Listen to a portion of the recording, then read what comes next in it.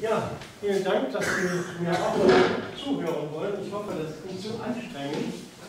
Äh, die meisten haben ja nicht nur die Ankündigung in der Zeitung, im Stadtanzeiger gelesen, sondern auch den tollen Artikel von Herrn Stink. Und ja, wer den sehr aufmerksam gelesen hat, äh, braucht eigentlich gar nicht mehr zuzuhören, denn da steht schon so viel drin. Aber ich hoffe, dass ich Ihnen noch ein bisschen an Neuigkeiten bringen kann. Äh, das war also der Artikel, ist jetzt hier ein bisschen zu klein. Da oben fliegt also die äh, äh, Junkersmaschine übers Bayerberg. Das ist also das Bild vom, glaub, vom vorletzten Flugtag. Wer also äh, bei den Flugtagen am Flughafen in Kottekotten mal teilnimmt, immer im September, der kann nicht nur äh, in der Regel die, eine der Junkersmaschinen dort fliegen sehen, sogar mitfliegen für 250 Euro oder was das kostet. Ähm, und man kann das Modell sehen, was hier steht. Dieses Modell, da erzähle ich ganz zum Schluss dann noch ein bisschen drüber, ist also ausgeliehen vom äh, Luftsportclub äh, Bayern und ähm, die Modellbaugruppe hat dies äh, gebaut. Ja, hier fliegt also die Maschine und die wunderschönen Bilder habe ich ähm, alle aus der Sammlung von Herrn Braun gekommen. Also äh, das sind also Originalfotos, die er hatte. Und ich bin ganz begeistert. Äh, das war also verwendet worden in der Werkszeitschrift äh, vom Werk zu Werk, Ausgabe Ludwigshafen. Also auch die haben dann Reklame mit diesem Flugzeug gemacht. Keine Angst, das ist kein Originalfoto, das ist eine Montage. Die haben niemals so die Maschine fotografieren können. Ähm, ja, hier kann man noch, ähm, Entschuldigung, da kann man noch das Hakenkreuz ganz gut sehen hier. Und hier unten, kann man leider nicht sehen, ist das Bayerkreuz äh, angemalt, anders als bei dieser Maschine, äh, die hier ausgestellt ist. Ja, auch ähm, die Firma äh, Junkers, das sind die Junkers Nachrichten hier, macht Reklame mit dieser Maschine, die den Namen DAOHU, steht auch hier drauf, hatte. Das sind also die Bezeichnungen, die in Deutschland für ein Flugzeug vergeben wurde, in Deutsch und in Englisch. Und äh, ich versuche das mal ein bisschen schärfer zu machen.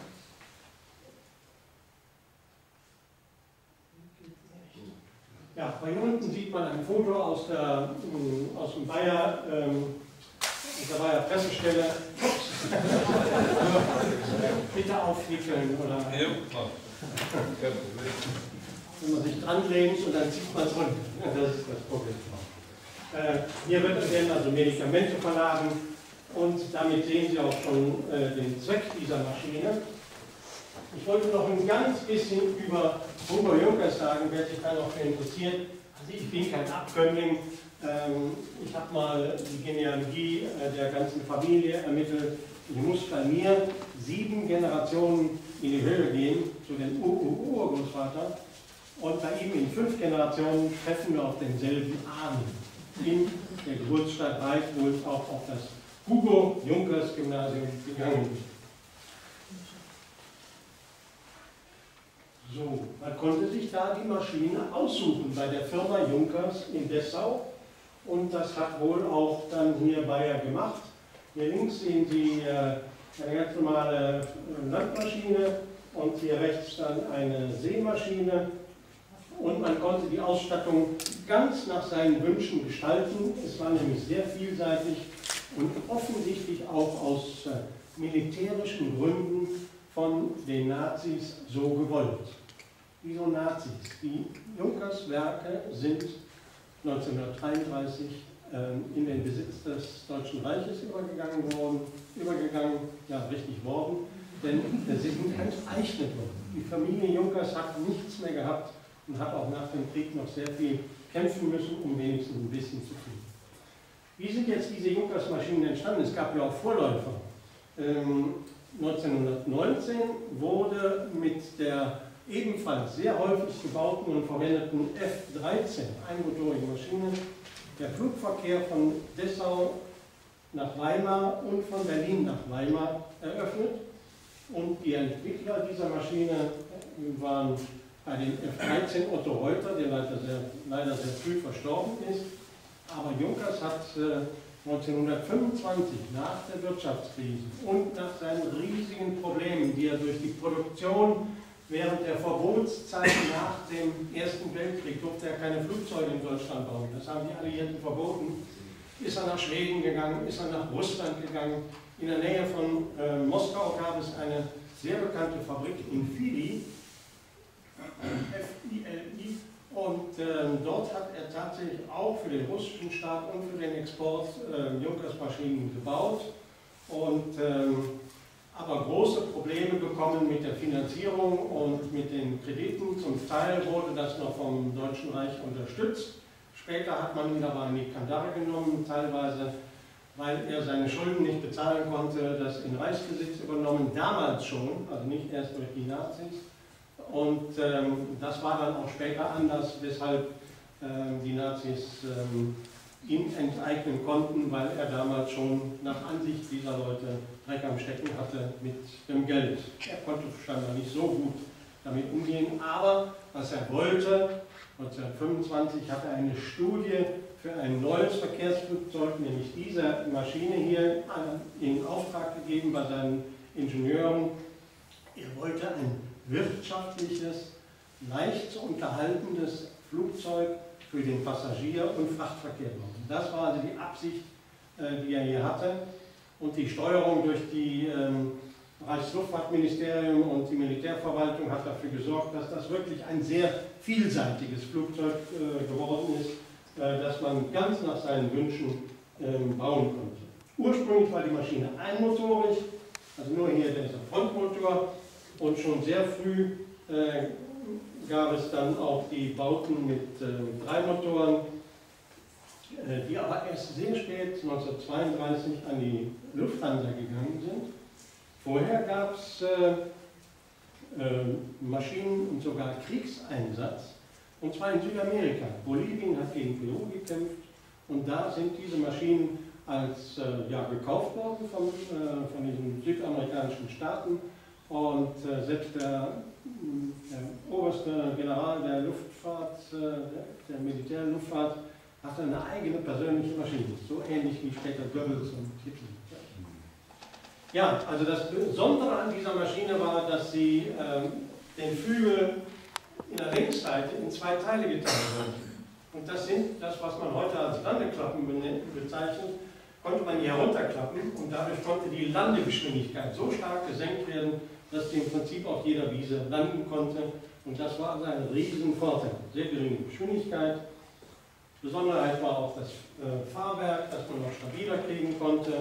Die geschlossene Kabine, die ersten Maschinen hatten sogar noch einen erster äh, Flugzeugführer noch im Freien. Aber die F-13, die war schon geschlossen. Und äh, ja, also Erstflug einer solchen dreimotorigen Maschine war am 7. März 1932 fünf Jahre vor dem Kauf durch Bayern.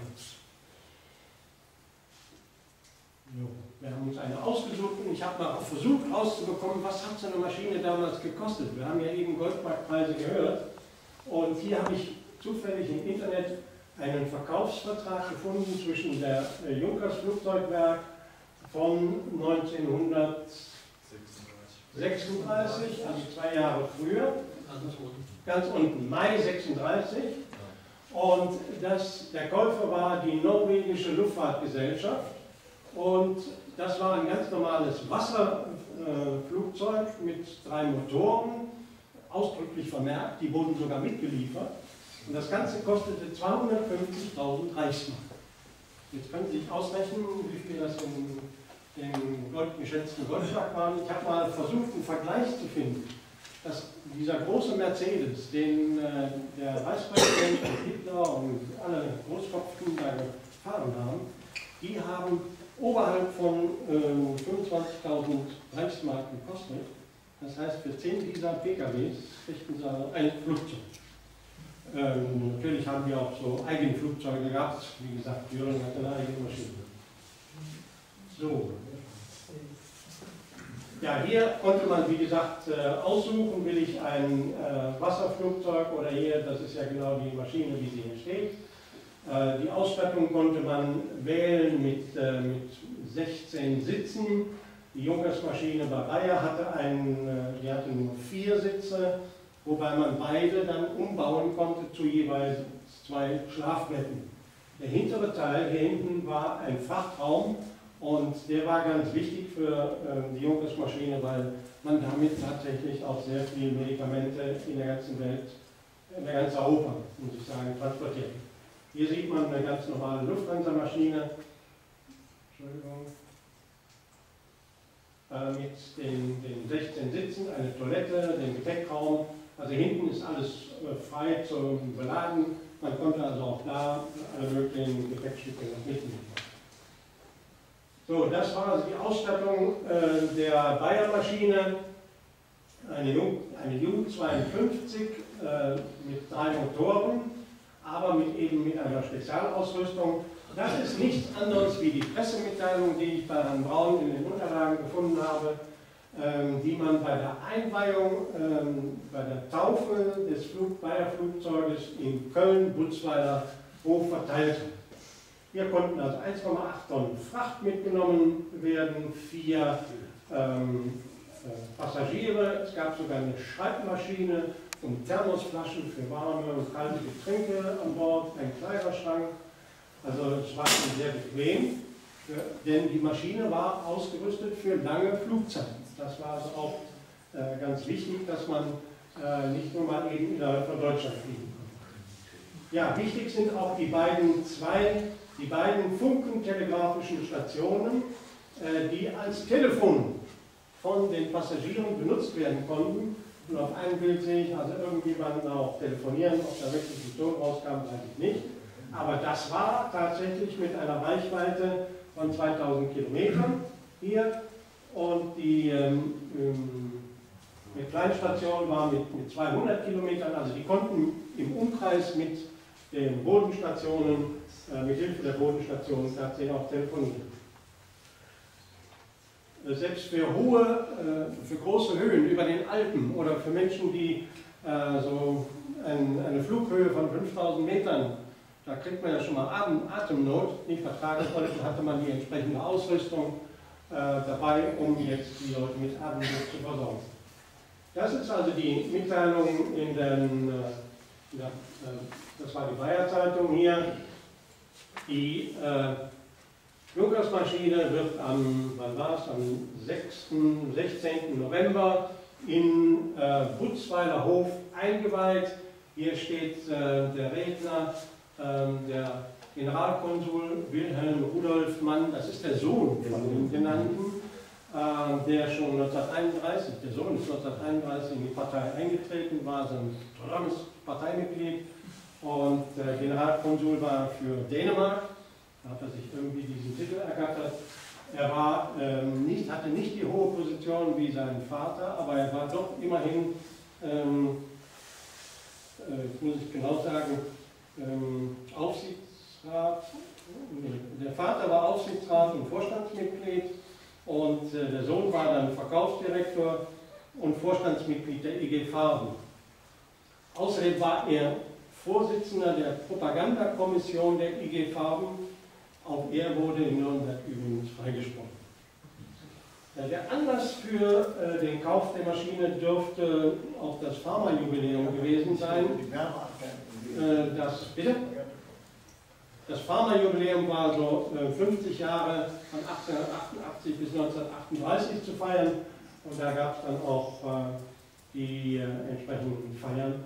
Aber hier ist nochmal das erste deutsche Industrie-Großflugzeug, ähm, das im Radio, im Film, Film. Äh, man kann sogar die Radiosendungen bei der Einweihung, die sind auf Wachsplatten mitgeschnitten worden, die kann man sich auf einer Webseite von junkers.de anhören. Ich bin das ganz, Entschuldigung, nicht bei, bei junkers.de, sondern bei der Kölner Luftfahrtgruppe am Butzweiler Hof. Da gibt es eine Webseite, die haben diese ähm, Dinge von Rundfunkgesellschaft äh, sich geholt. Da war das ein reines Propagandainstrument neben der äh, Eigenschaft, es als Frachtflugzeug und für den Transport von Prominenten und Kaufleuten und Ja, selbst Generäle sind da mitgeflogen. Bei der Einweihung sieht man genügend äh, Uniformen. Äh, ich weiß nicht, ist das Rudolf Das ist mein Opa. Das ist Ihr Opa, hier in der Mitte. Er musste eine Rede halten, irgendwo. Der Delegationsleiter bei mehreren Flügen gewesen und musste dann auch reden. Das ist ganz typisch, dass man also, äh, das sind natürlich nicht alles Leute, die mitgeflogen sind, aber hier vorne äh, filmt, da sieht man nicht, aber es sind Fotografen, eine Filmkamera. Überall, wo sie in den Städten waren, hat man alle zusammengetrommelt über Pressemitteilungen. Äh, und bei jedem Landung, bei jeder Landung in Amsterdam, in, in äh, London, in Paris, überall hat man ein Empfangskomitee am Flughafen gehabt und es war also ein riesen äh, Presseauflauf. Ähm, hier stehen die drei Piloten, die ich gleich nochmal erwähnen werde. Das ist also hier der Flugkapitän, äh, der gleich noch im Bild kommt. Ja, das sind die, die Fluglinien, äh, die die Junkersmaschine je geflogen ist von Bayer. Das ging also hier der erste äh, Langstreckenflug. Äh, das war so eine spannende Geschichte, die auch genau beschrieben ist. Es gibt eine Zeitschrift der Pharmaabteilung Die Brücke. Und da gibt es in jedem Heft, wird das propagandistisch ausgenutzt und ausgewertet, wo sie überall waren, sind zum Teil auch sehr persönliche Berichte. Aber das ist also ein Flug über 1400 Kilometer, ähm, die man in einem Rutsch als Notstopp, die sind also auch in Dublin dann groß bestaunt worden und das ist ebenfalls pressemäßig sehr stark ausgenutzt, ausgewertet worden. Aber die anderen Flüge, wie man sieht hier äh, nach Rumänien bis nach Istanbul, ähm, Griechenland bis nach äh, Finnland, sind also ähm, immer Lieferungen gewesen von Medikamenten, aber es waren dann auch Rundreisen von anderen Gelegenheiten. Vielleicht könnt ihr noch was zu sagen, ob da hier oben auch drauf Der ist auch wieder drauf, ja. Der ist hier mit den Blumen da. Der, der rechte, der kleine, der. Ja, also wieder Großvater Braun und er war in der Delegation dabei. Das sind wieder, wie gesagt, die Originalfotos, die mir Herr Braun zur Verfügung gestellt hat. Also das war in jedem Landeort äh, so, dass man die äh, vier Leute, die im Flugzeug saßen, einschließlich der drei Besatzungsmitglieder, begrüßt hat und äh, empfangen. Hier ist also wohl die, die größte Rundfahrt äh, von, von Köln nach äh, Rumänien, Bukarest, Griechen, Saloniki, Athen, Istanbul und sogar nach Tirana in Albanien sind sie. Die Reise mit ja. Geschrieben hat der Artikel ein Heinrich Neumann. Das ist wohl dabei gewesen. Ne? Ja. Den kennen Sie nicht? Oder? Also es gab auch Propagandisten, die dann mitgefahren sind und die entsprechenden. So, jetzt geht's weiter. Entschuldigung. Das ist schon die Mannschaft. Ja, das ist nochmal dieses äh, wunderschöne Gebäude, was heute noch steht, das Verwaltungsgebäude der Pharmaabteilung. Ein äh, Prachtbau, der von Emil Fahrenkamp im äh, Leiter der Kunsthochschule in äh, Düsseldorf gebaut worden ist, der viele Gebäude gebaut hat. Und dieses Heft ist äh, ganz in Gold gehalten, weil es das Jubiläumsheft war 1888 und steht da bis 1938. Wie gesagt, möglicherweise auch das der Anlass zum Kauf der Maschine. Die sind noch sichtbar, kommen Sie ruhig davon.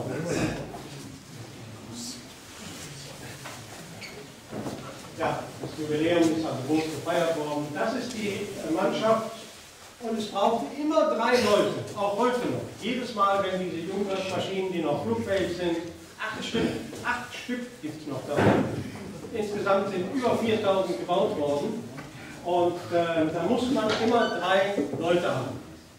Einmal äh, den Flugkapitän, das ist Paul Schlafke, dann äh, Max Kohl, der Bordfunker, und Willy Matzke, der Bordmaschinist, also der Techniker, der die Ölpumpen einschaltet und äh, dafür sorgt, dass immer Benzin ankommt und so weiter. Also das war eine sehr bewährte Mannschaft. Man hat äh, Paul Schlafke wahrscheinlich äh, als Verkehrsflieger, vielleicht war er schon bei der Lufthansa, man hat also in Butzweiler Hof ähm, sehr gut mit der Lufthansa zusammengearbeitet, denn Standort der Maschine war Butzweiler Hof in Köln und dort war auch die Lufthansa dafür verantwortlich, vertraglich geregelt, ähm, die Wartung der Maschine zu versorgen. Die, die Einsatzpläne für die äh, Maschine hat dann äh, eine Bayer Direktionsabteilung äh, erledigt, die direkt dem Vorstand unterstellt war. Und die haben dann in den einzelnen Abteilungen, überwiegend Pharma, aber auch Pflanzenschutz, äh, dann die Transporte organisiert. Das war sein fester Plan, obwohl man mit so einer Maschine damals auch nicht einfach mal jeden Mittag da hochsteigen konnte. Es war sehr stark noch abhängig vom Wetter. Ja, zu Paul Schlafke und seinen Mitstreitern gibt es eine ganze Menge zu erzählen. Ich habe also heute mit einem Neffen von Paul Schlafke sprechen können, äh, der auch Teile des Nachlasses von ihm hat. Äh, Paul Schlafke ist 1908 geboren.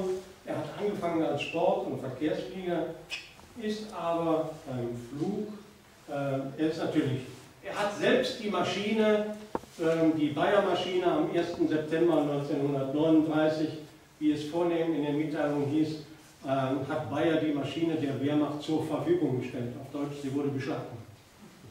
Ähm, bei den Bayer-Mitteilungen hört sich das immer anders an. Und ähnlich ist es auch mit dem Tod von Schlag. Er hat diese Maschine nicht weiter geflogen. Äh, die Junkers-Maschine bei Bayer hat auch nur ein kurzes Leben gehabt, äh, denn äh, die ist, äh, muss ich jetzt selber nachgucken, damit ich nichts Falsches sage, hm, wo steht's? 42, ja, 42 gewesen. Die ist am 24. Juni 1941 auf dem Rückflug von Afrika unter dem Kommando von Flugkapitän Eberhard Schäfer, der dicht über das Mittelmeer geflogen ist, äh, von amerikanischen Jägern abgeschossen. Mitsamt den schwer verletzten äh, Leuten, die im Flugzeug saßen. Also die ist dann sofort als Sanitätsflugzeug, als Transportmittel für Medikamente, für Kranke äh, eingesetzt worden von der Wehrmacht. Ähm, als Kampfmaschine ist sie wohl nie ausgerüstet worden. Der Tod von Paul Schlafke am, wann war es? Da kann man es 1. August 1941 ist die Todesanzeige. Er wurde abgeschossen, ähm, als er gegen England kämpfen musste über der Nordsee.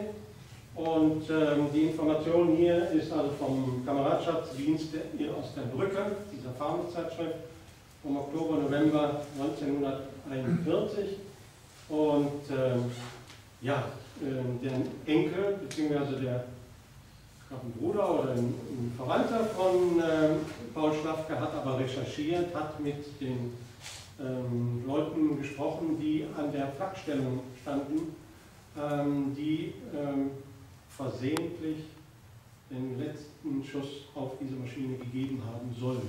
So hat es der ähm, Kirchenmann, ein Priester, der in Köln ein Domherr war, ähm, ebenfalls mit dem Namen Schlafke ermitteln können, indem er unmittelbar danach mit dieser Flakmannschaft gesprochen hat. Möglicherweise auch von den englischen Maschinen beschossen worden im Nebel oder in den Wolken, aber nach Aussage dieser Nachricht von eigenen Flak ähm, abgeschossen worden. Das finden Sie hier natürlich nirgends. Wird auch nirgendwo. Bitte? Ja, 31 Jahre alt war er und äh, die Kollegen, der Maximilian, hier ist nochmal eine Abschiedsmitteilung in diesen äh, Nachrichten und das ist natürlich die typische äh, Schreibweise, wie man dann sowas sagt. Es wird im Prinzip verschleiert, wie er gestorben ist, auch in der Todesanzeige. Das ist sein Kollege Max Kohl, der scheinbar überlebt hat. Er hat einen sogenannten allzu harten Landungs- ähm, eine Landung überstanden, war eine längere Zeit dienstuntauglich, ähm, hat es überstanden und äh, ja, die waren alle Leutnant. Ich glaube, Paul Schlafke war äh, sogar noch Oberleutnant. Er war ähm, Fluglehrer, hat die ähm, Leute in seiner Flugstaffel ausbilden müssen und er, irgendwo schrieb sein Neffe, er konnte gar nicht so schnell ausbilden, wie die Leute abgeschossen wurden. Ja, jetzt sind wir schon in der Nachkriegszeit und bei diesem wunderschönen Modell. Äh, das sind die beiden Flugkapitäne oder die Mitarbeiter, die hier oben in der richtigen Maschine, ich nehme an, das ist hier die Lufthansa-Maschine, ähm, äh, geflogen haben. Die bewundern hier dieses wunderschöne Modell, das da vorgebaut ist. Das ist also der Fliegerhaus Will, der aber heute auch nicht mehr da aktiv ist. Und gebaut wurde die Maschine von ähm, Guido Plützer Und ähm, der Pilot war Rainer Strobel, äh, der auch in, in Pressemitteilungen erwähnt ist. Dieses Bild ist offensichtlich äh, bei, einer Begegnung in äh, Tempelhof in Berlin geschossen worden. So, und das ist dann hier wieder äh, die älteste Zeitschrift von 1997. Hm, ich weiß jetzt nicht, wo das erschienen ist. Rheinische Post. Rheinische Post steht oben drüber, Entschuldigung. Äh, also, herzlichen Glückwunsch. Äh, und äh, da ist also daraus zu entnehmen, dass genau 60 Jahre nach Anschaffung der Maschine die auch hier wieder geflogen ist. Der Luftsportclub, die Modellbaugruppe macht regelmäßig auch Flugwettbewerbe mit. Das ist also ein sogenanntes Large Scale Model und äh, sie haben zwar nicht die ersten Preise ermittelt, aber ähm, immerhin ähm, doch hohe Plätze und große Anerkennung gefunden. Da kann man ja, die Beschriftung ist dieselbe, die auch jetzt hier unten von unten zu sehen ist, aber auf der Bayer-Maschine war im Ursprung, hier ein Bayer Konz. Ja, dass die auch wirklich geflogen hat, das ist nämlich genau diese Maschine, können Sie hier sehen, das ist also eine Aufnahme vom Luftsportclub. Und ich lade Sie noch ein, einmal einen ganz kurzen Augenblick mitzufliegen. Das ist also der Prospekt von Junkers über die Junkers-Maschine aus der Baureihe von 1933, 34 und mal gucken, was Sie da sehen können. Das muss ich eben einschalten, einen Moment. Es gibt also tatsächlich einen Film. Ich hoffe, das funktioniert auch.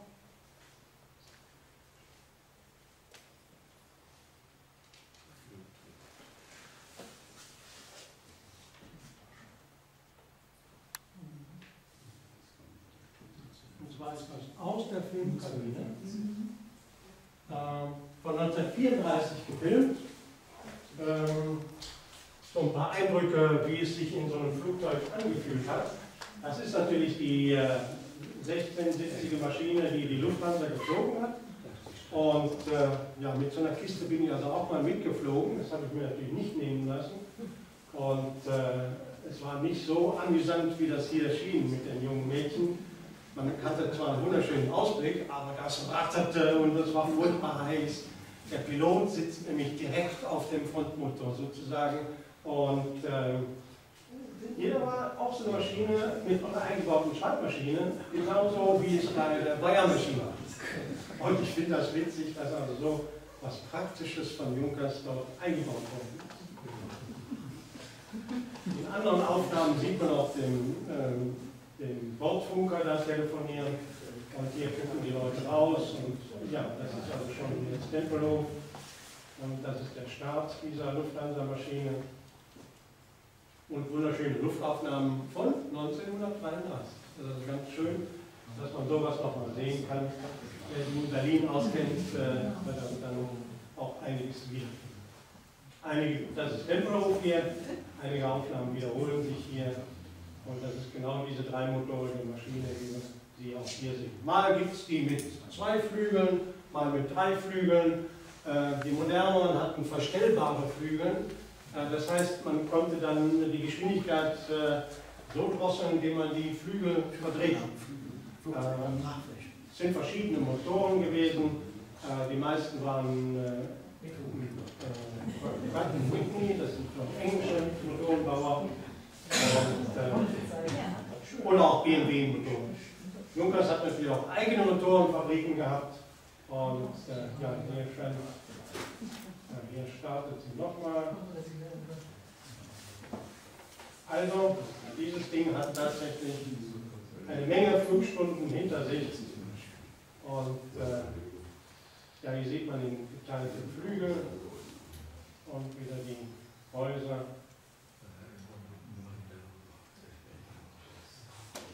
Das war es eigentlich. Ich, Sie können das äh, beliebig lange anschauen.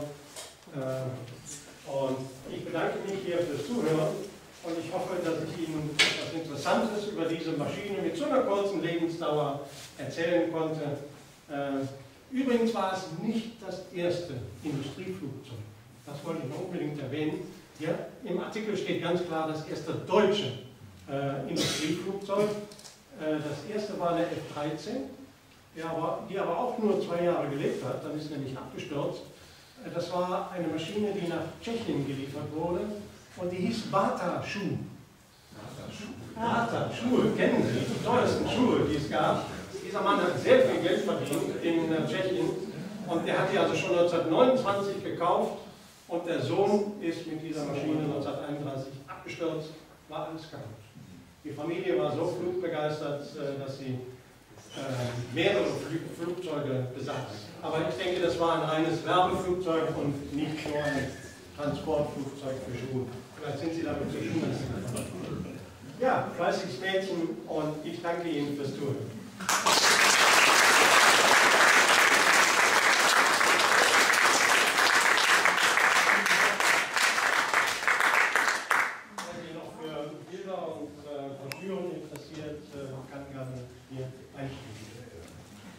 Ja, kommen Sie nach vorne und schauen ja, Vielleicht gibt es noch Fragen zu der Maschine. Ich habe ja, bitte. Ich habe mal gelesen, äh, es gibt die Tagebücher noch von dem alten Feldmarschall Milch. Und der war ja zunächst äh, damit beauftragt, die Lufthansa wieder aufzubauen. Genau, der Generaldirektor der Lufthansa. Ja, und äh, der Milch und der Sohn von Junkers, die waren dafür, die dreimotorige Version zu bauen. Aber der alte hat sich quergelegt und wollte unbedingt nur einmotorig.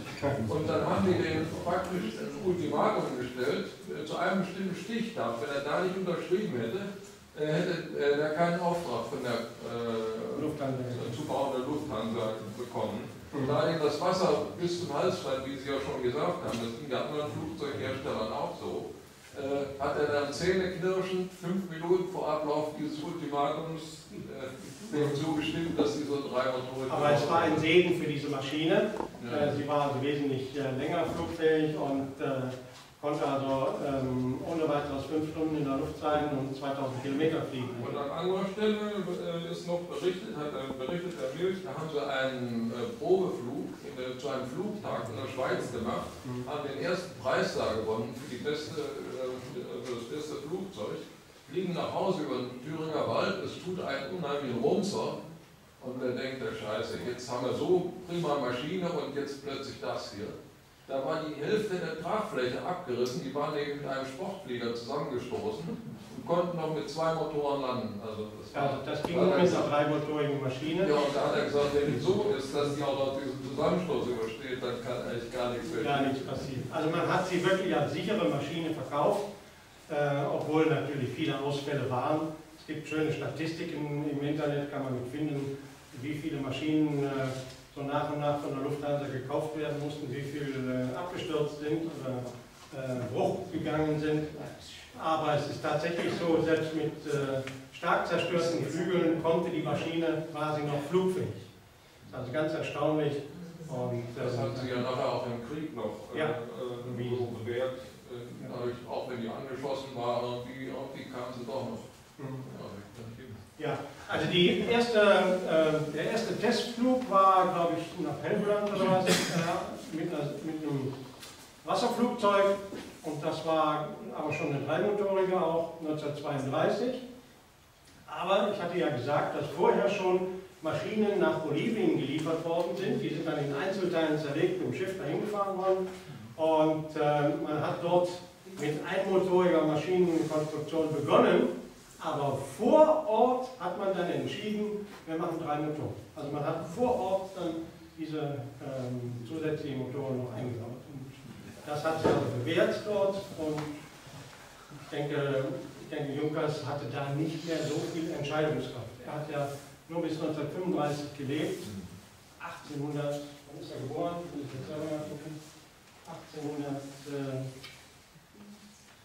59 geboren, also er hatte schon ein gesegnetes Alter, war schon längst im Rentenalter und ist ja auch 33 dann von den Nazis äh, nach, äh, in der Nähe von Berchtesgaden dann so, sozusagen interniert worden in seinem Wohnhaus und konnte sich nicht mehr mit Flugzeugbau beschäftigen, hat also nur noch ein bisschen Stahl, Lamellen, Hallenbau, Badezimmer und alles Mögliche gebaut. In der Krise. Sind ja auch von Junkers. Die Gastherren damals für die Badezimmer sind ja noch ursprünglich kein Die, die hat er ähm, in dieser Finanzkrise in den 20er Jahren an Bosch verkaufen müssen. Aber Bosch hat sich dann verpflichtet, diesen Namen beizubehalten, deswegen steht das heute immer noch drauf. Achten Sie auf das S. Es gibt auch Juncker und Ruh, die hat nichts mit unserer Familie zu tun. Ja, noch weitere Fragen oder Anmerkungen? Also wenn Sie mal eine Gelegenheit haben mitzufliegen, es ist ein Abenteuer, sollte man unbedingt dabei